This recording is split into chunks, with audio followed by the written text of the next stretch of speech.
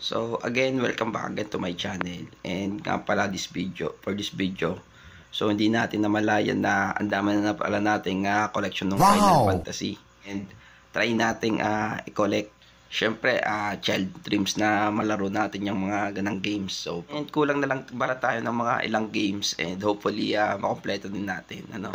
Tapos, uh, pasilip na din natin yung shelves na binili ng asawa ko. No? So, sorry dun sa nag-comment. Susuportahan ako ng asawa ko dun sa aking hobby. And without further ado, uh, pakita ko muna kung paano ko binuo yung, ano, yung shelves na binigay sa akin ng ano, asawa ko.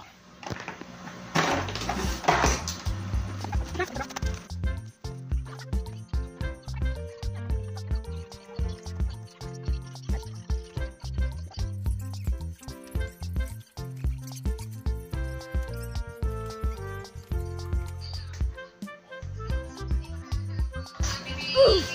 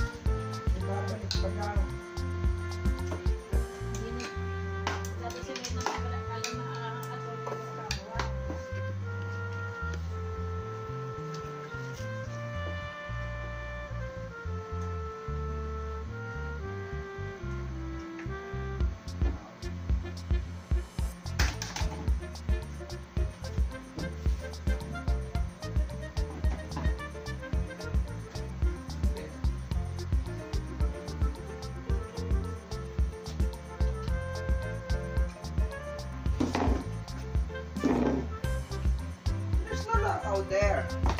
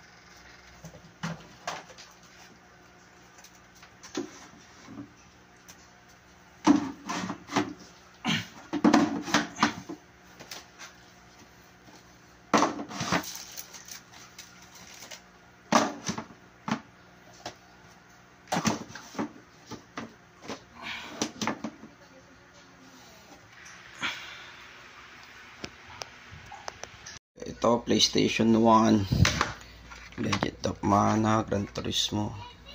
May mga manuals pa yan. O, ha?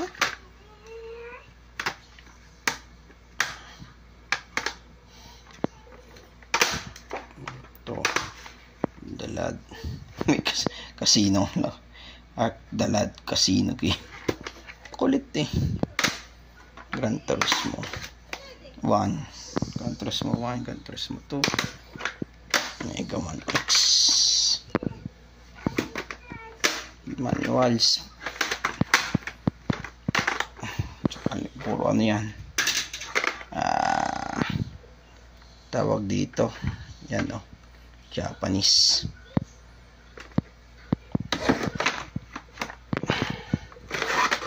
Japanese yan. Japanese. Lagyan natin dito.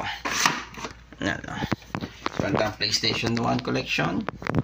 PlayStation 2 collection and PlayStation 3 collection. So yung iba dyan English halo halo. Ito brand new pa yan. Oh, sealed oh. For sale natin yan. Tapos ito sealed PC to Dragon Quest 10. you know, for Windows. Yan. Mhm. Tapos, It siguro, lagay na lang natin dito. Dito lang. Yan. So, ang ganda na yung ating So, yun nga, nilagay lang natin ito yung retro nating nabili sa Shopee. Tapos, nakukulangan pa ako sa mga laman nito eh. No, nakakita pa nga pa. Ito controller. Ano ba ako dito? Yung game po.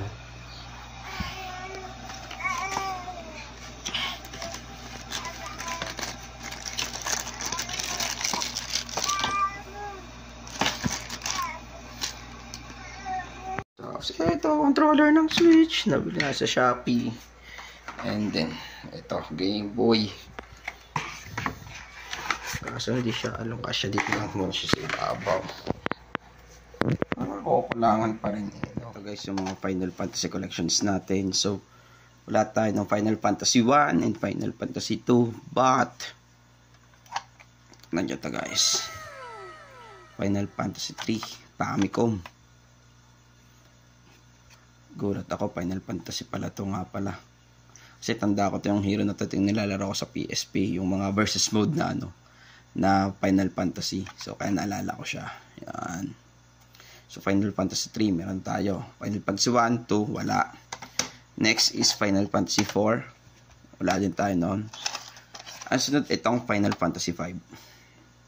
So, sa SNES siya. And then, hindi ko in-expect pala na meron mga Final Fantasy nga pala sa SNES at saka sa Famicom. Same as dito sa Final Fantasy 6. So, ito siya. SNES din. Sa mga Japan made siya. Pero okay lang for collection purposes lang naman. Next is of course PlayStation 1 Final Fantasy 7. Squares up. So complete to. Japanese CD. Yan, 3Ds. 3Ds. Kompleto na yan. Ano kasi na-cloud to. Tapos, etong sunod natin is yung Final Fantasy 8. Ito, medyo may crack lamang yung mga konya case pero goods na yan. Or lang naman natin ito nakuha. Kasi yan, may mga manual. Si Renova. This one, this two. Kasi pag uh, nagmimili ka nga sa mga surplusan, check nyo kung ano, kung merong uh, CD lahat. Kasi yung iba ko nakikita case walang laman. So, ang ginagawa ko, kailangan ng case, tinatawaran ko na lang siya, sabi ko walang laman. Mas more pa natin nakukuha yan. Pero in this case, kompleto siya, so goods na goods yun.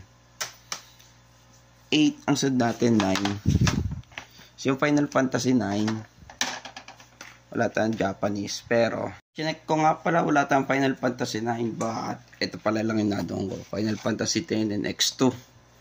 10-2, yan. English to, na matagal na sa akin uh, nakatago so medyo lumang luma na guys pero kompleto yan guys. English. Yan. And hindi lamang yon.